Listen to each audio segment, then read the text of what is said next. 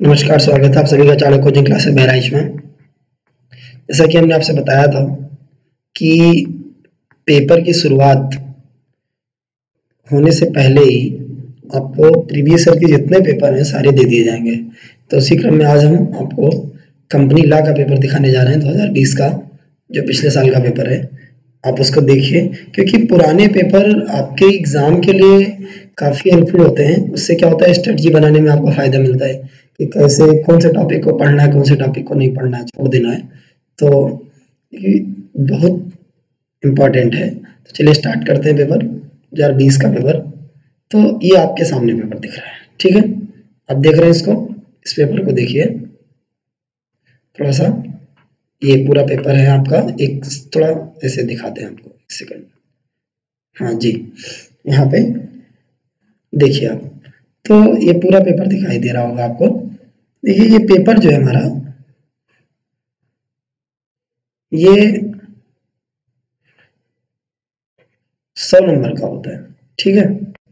सब जानते हैं, आप अवध, और ये अवध यूनिवर्सिटी का पेपर है, डॉक्टर राम मनोहर लोहिया, अवध यूनिवर्सिटी का पेपर है, ग्रुप ए का पेपर है बीकॉम सेकंड ईयर मैम है, ठीक है? सेकंड पेपर पहले फ़र्स्ट पेपर हुआ करता था, लेकिन बीच में सिलेबस का पैटर्न बदला तो सेक्शन ए की सबसे पहले बात करेंगे।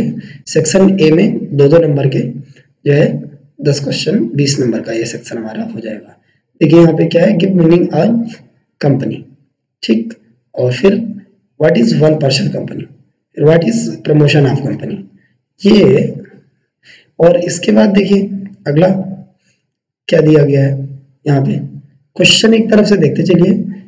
एक रचनात्मक सूचना का सिद्धांत क्या है? What is difference between share and stock what is debenture give the meaning of director write a note on the agenda of meeting ठीक है? इसकी बात कर रहे हैं। तो नेक्स्ट है हमारा यहाँ पे।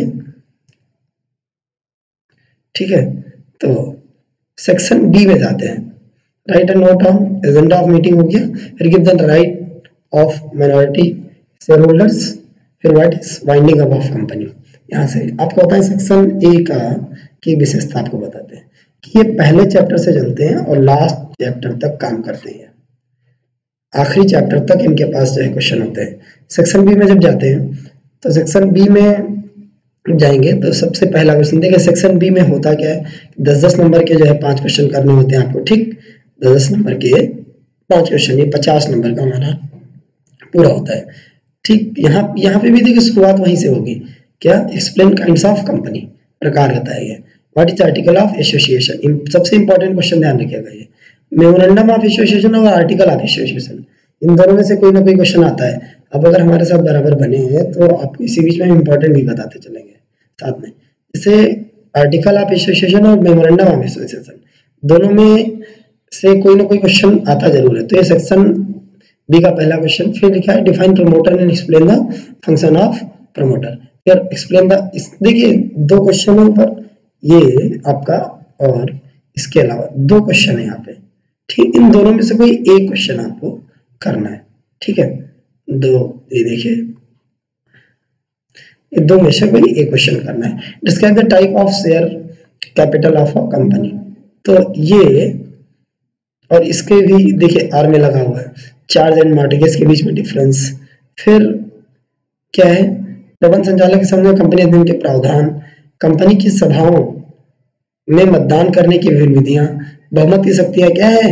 इसके अपवाद कंपनियों के समापन। आपको बताया अगर आप थोड़ी देर के लिए आपको बैग में लेके चलते हैं। इसे देखिए लास्ट क्वेश्चन इसका देखिए आप। सेक्शन जो है सेक्शन बी का ए का लास्ट क्वेश्चन आप देख लीजिए एक बार। देखिए। दिखाई दे रहा है ना आपको? ये ये है, अब एक काम करिए। आप इसका लास्ट देख लीजिए। आपके सामने दिख रहा होगा। इसका लास्ट क्वेश्चन देखिए, इसमें देखिए, आखिरी क्वेश्चन ठीक, इन दोनों में अंतर देखिए बात। है कहीं वही सेम टू सेम पूछा गया। आखिरी चैप्टर से। अब सेक्शन बी हो गया। सेक्शन सी देखते हैं। क्या व्हाट इज़ इसमें भी शुरुआत से किया? What is private company describe the statutory right and examples of a private company फिर what is prospectus describe the subject matter ये दो क्वेश्चन आपके हैं। इसके अलावा, देखिए सेक्शन सी में करने हैं कितने? पाँच। लेकिन करने कितने? कुल मिला के। कुल मिला के करने हैं दो। ठीक? ये, और पंद्रह नंबर का क्वेश्चन है। तो ये दो शुरुआत में हो गए। फिर इसके बाद डायरेक्टर के बारे में क्वेश्चन है। फिर कंपनी में मैनेजमेंट से रिलेटेड है और लास्ट में फिर देखते हैं एक सेकंड आपको फिर हम दिखाते हैं यहाँ पे।